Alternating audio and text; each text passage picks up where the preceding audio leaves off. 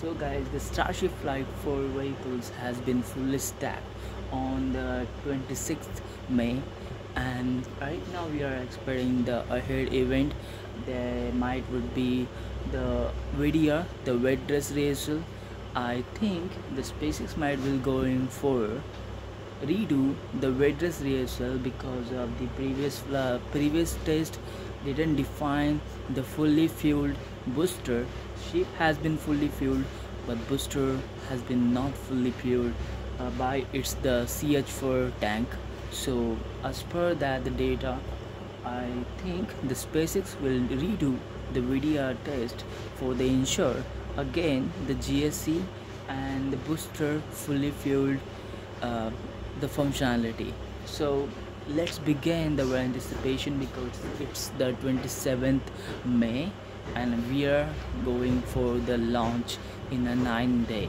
So i'm expecting that everything will be a very excitement and also will be a thrillful adventures while the performing of the the both stages the ship 29 and booster 11 and i'm very excited this is just the t minus nine days. T minus nine days. And we are going for the launch. Just expect the whatever you think in your mind that where we were and where we are right now.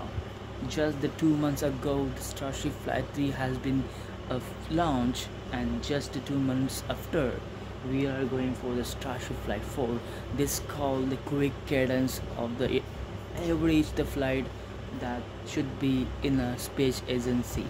This kind of the schedule and launch is also forwarded the entire industry to understand the lots of things so and understand the speed of the world entire industry. So whatever that be i will i will meet you like right before the tragic flight 4 and i will inform you about the every information that we got from the starship flight 4 uh, before it's the flight.